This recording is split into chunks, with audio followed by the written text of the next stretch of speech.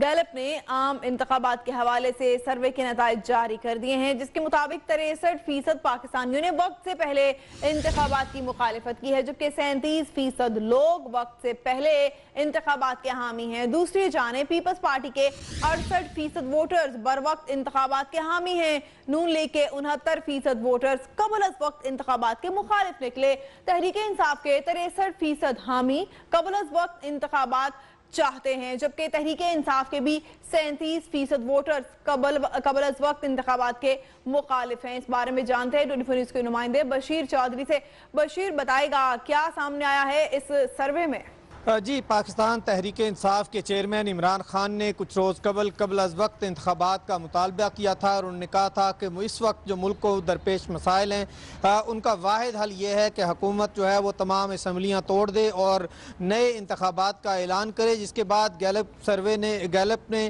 ایک سروے کا انعقاد کیا ہے، جس میں پاکستان کے چاروں صوبوں سے عوام کی جو رائے ہے وہ لی گئی ہے، جس کے بعد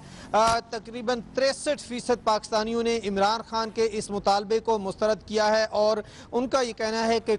جو تریسٹھ فیصد پاکستانی ہیں وہ یہ چاہتے ہیں کہ انتخابات دو ہزار اٹھارہ میں اپنے وقت پر ہی ہوں۔ تاہم سینتیس فیصد جو پاکستانی ہیں، انہوں نے یہ قرار دیا ہے کہ اگر انتخابات قبل از وقت ہو جاتے ہیں تو اس میں کوئی کباہت نہیں ہے۔ اگر پارٹی وائز جو سروے کیا گیا ہے، اس کا جائزہ لیا جائے تو پیپلز پارٹی کے اڑسٹھ فیصد، مسلم لیگ نون کے انہتر فیصد اور تحریک انصاف کے سینتیس فیصد جو ارکان ہیں وہ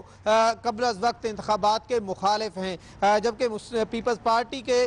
بتیس فیصد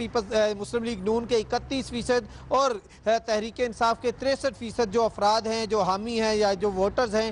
وہ قبل از وقت انتخابات کے حامی ہیں تو یوں شکریہ بشیر چودری اپڈیٹ کر رہے تھے۔